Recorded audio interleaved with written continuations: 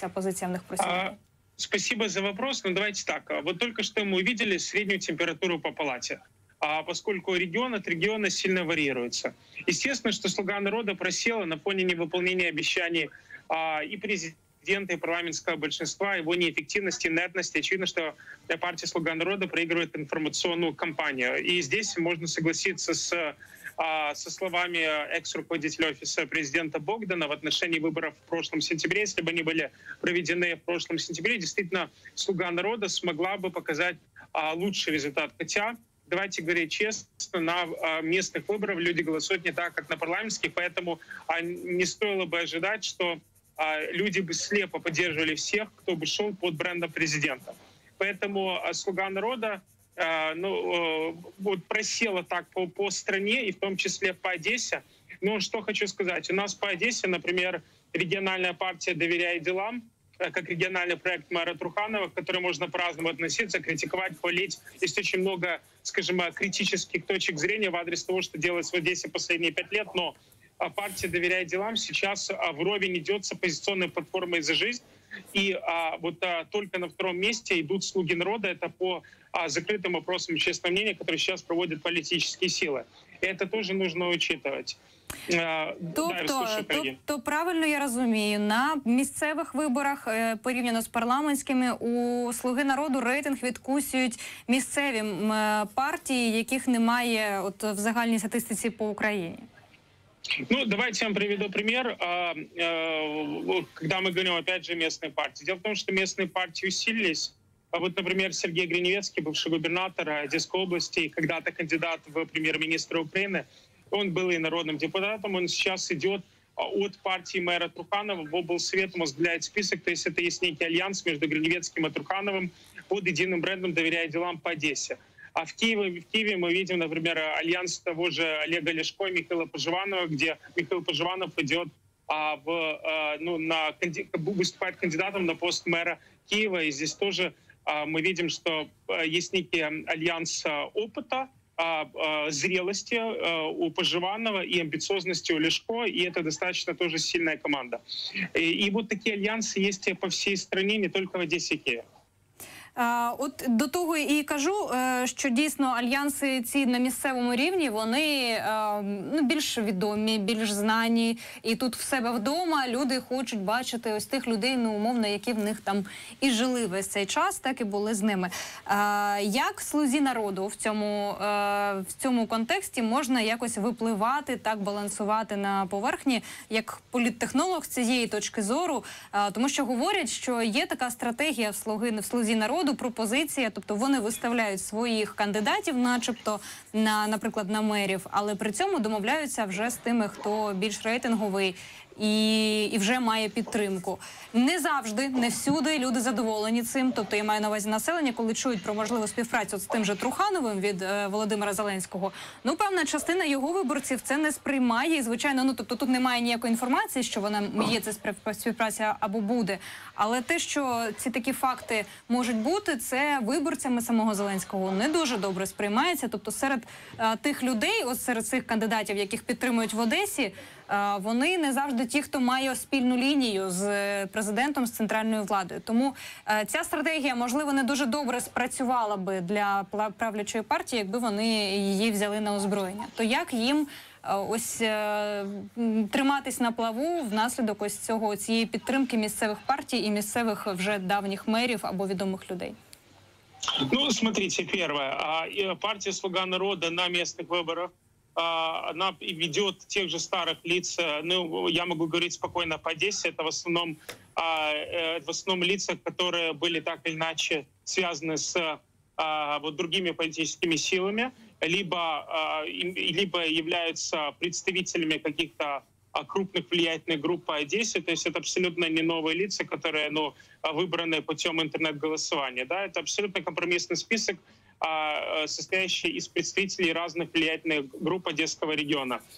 Точно так же формируются другие политические силы. И нужно четко понимать, что тренд на приход молодых, новых, он сменяется постепенно возвращением людей более не менее опытных, профессиональных, к которым мы привыкли. И вот это происходит во всех политических силах, и в «Слуге народа», и в ОПЗЖ, сейчас а, в ОПЗЖ а, заходят а, ну, вот по, по спискам в Одессе люди, которые неоднократно уже избирались в местные советы, а точно так же по другим политическим силам. Но, как я говорил, а если брать, если брать Киев, тот же Михайло Поживанов, він руководив фондом госімущества і прочее. От давайте, пане Михайле, якраз ми дуже багато про Одесу. А цікаво так нам про загалом по Україні і можливо по Києву поговорити також. Да.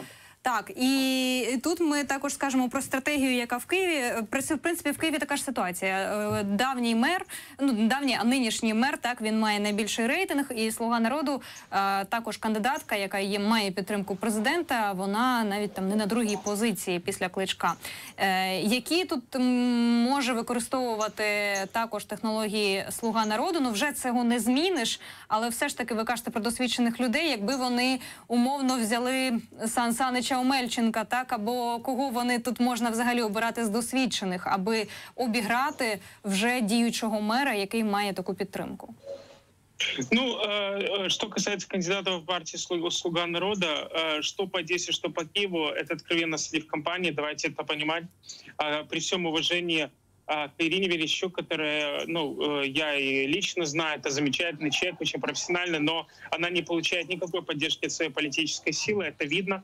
А то же самое касается Олега Филимонова, который идет по Одессе. Это известный артист, но это не политика, тем более он, он в СУИ не упоминает мэра Труханова и не критикует его. Невозможно прийти власти, когда ты не критикуешь а, мэра города.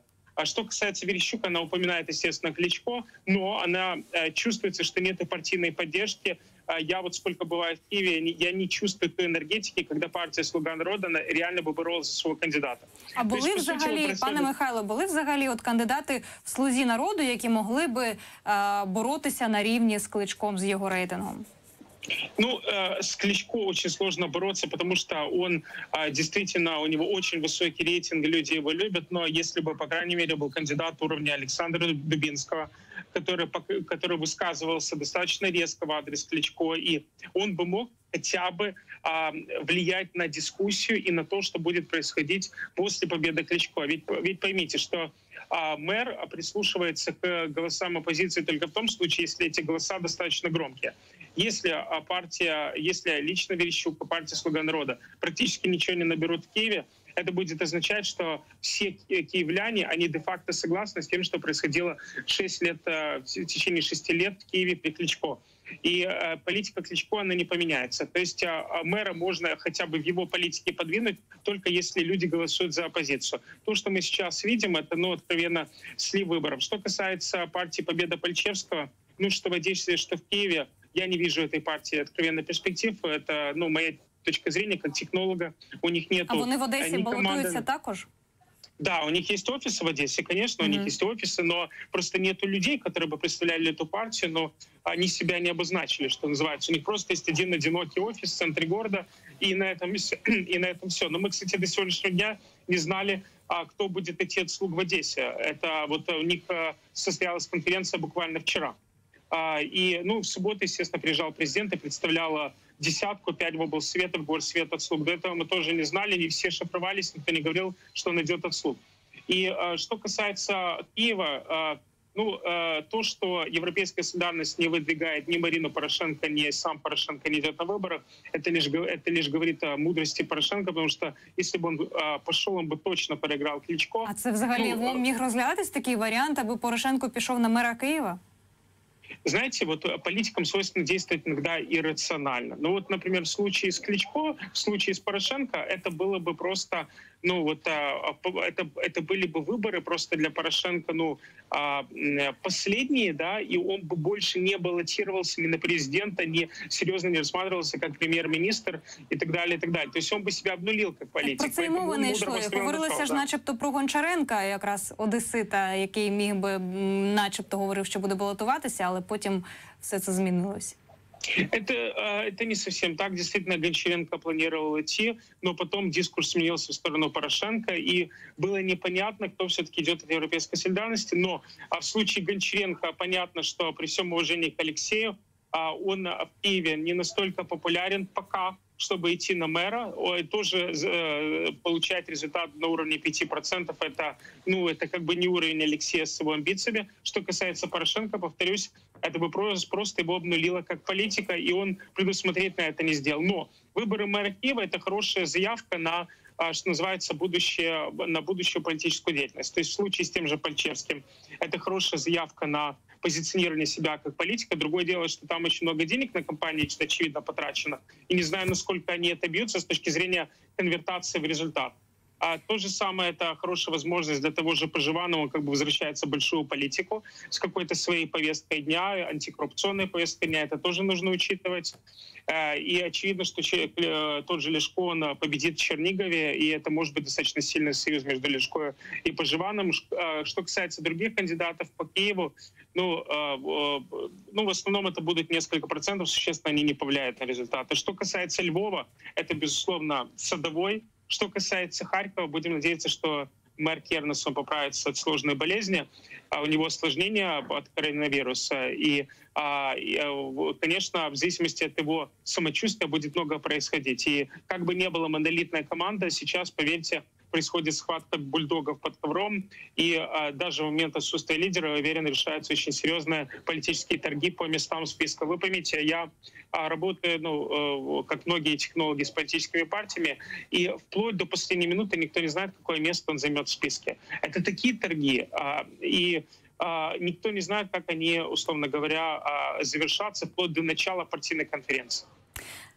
Будь так, ласка, так от власне в контексті виборів я хочу навести дуже цікаві цифри, е, які е, дали дала соціологічна група рейтинг, е, які свідчать про те, що лише 35% опитаних знають точну дату місцевих виборів. 43% взагалі не знають. Там більше 13, 19 знають, що воно десь приблизно ці вибори у жовтні. 3% назвали зовсім неправильні дати. А 69% опитаних взагалі не знають, за якою системою це відбувається. Ось і тут постає питання: чи оце все, що ми з вами аналізуємо, кандидати, хто від якої політичної сили, це настільки далеко від простих людей, і це знову ж таки можемо робити висновки, певні висновки, як які будуть результати цих виборів. Знаете, вот я сейчас скажу контроверсионную вещь, может быть, она вам не понравится, но это откровенно всегда говорю в эфире вашего телеканала, когда в студии или пускай по откровенно. А, вот а, люди, они, все, они хорошо очень знают, когда выборы. А, вот работая с политиками, я просто наблюдаю, что люди, прежде всего, они хотят удовлетворения каких-то бытовых социальных потребностей. Тут скамейку покрасить, тут это купить, тут то купить. Каждый раз, когда политик заходит в двор, люди уже на старте его коррумпируют.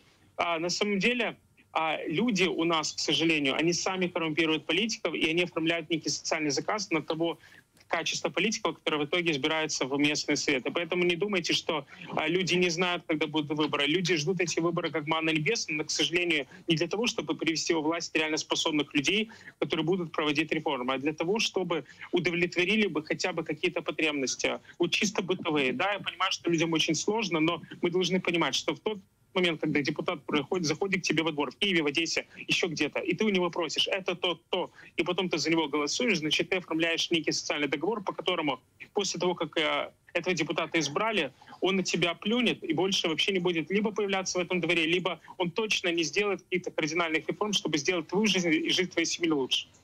А ще пане Михайле, якраз до того, що сказала Аня, це те, що люди не знають за якою системою проходитиме вибори. А вона в нас е, нова на ці вибори буде е, більш ну трошечки більш складна, як особливо для тих, хто не розбирається, не знає. І до цієї складності додається ще й велика кількість бюлетенів. У Нас традиційно на місцевих виборах ми голосуємо yeah. за всіх одночасно. Це буде велика купа папірців е, ще й з новими там квадратиками, де треба за кандидата окремо, значить за партію окремо. І от я хочу запитати, як це е, цей факт, ці зміни вплинули безпосередньо на виборчу кампанію, на те, як вона як готується вона політтехнологами, командою політиків, так або командою партії, тому що я так розумію, треба розкручувати паралельно з партією окремо місцевих кандидатів. Так, от розкажіть нам, будь ласка, які зміни у підготовці у піарі виборчому. Ну, давайте так.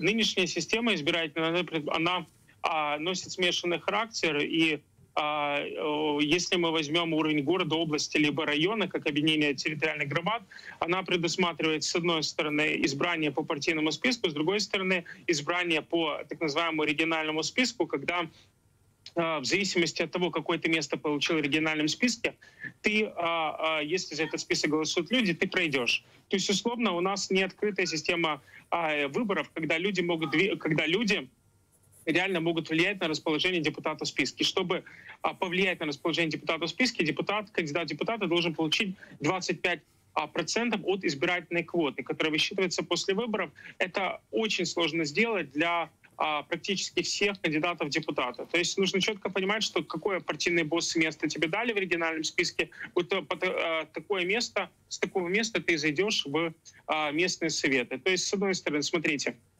у нас пятипроцентный барьер, который очень сложно преодолеть молодой партии, который пока как бы носит некий маргинальный характер, но маргинальный в, сути, в силу чего? То, что она имеет малую популярность. Да?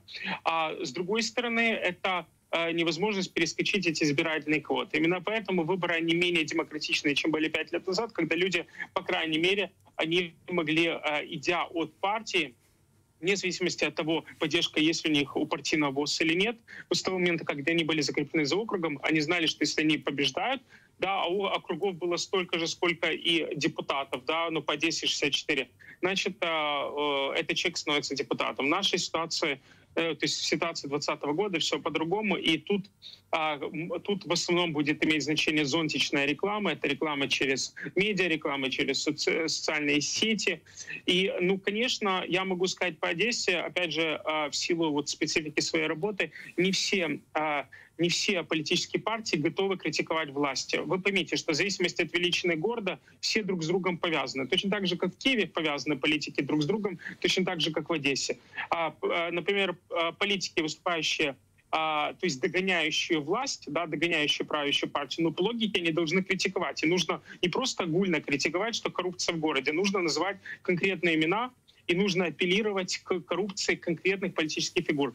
А у нас же это не делается неохотно, точно так же, а, и как мне кажется, и в Киеве, если мы говорим о киевских политиках, потому что они так иначе включены в распределение, э, собственно, общественных благ, да, а, и хотят остаться в добрых отношениях а, после окончания выборов. Поэтому у нас избирательная кампания из этого проходит но очень вяло, нет вот этой энергетики. Это большая проблема. Хотя сейчас, учитывая то, что а, мы переживаем сразу несколько кризисов. Это и коронавирус, это и экономическая социально-экономический, социально-экономический кризис, который является следствием коронавируса. Есть проблемы точки, точки, по которым можно работать с точки зрения пиара, но политические партии старательно, а, а, старательно это обходят. Вообще я хочу сказать, что на региональном уровне очень модно критиковать партию президента и представителей партии президента. Просто все понимают, что партия президента не сможет взять большинство, и точно не, ее представитель не станет мэром, условно, Одессы и Киева.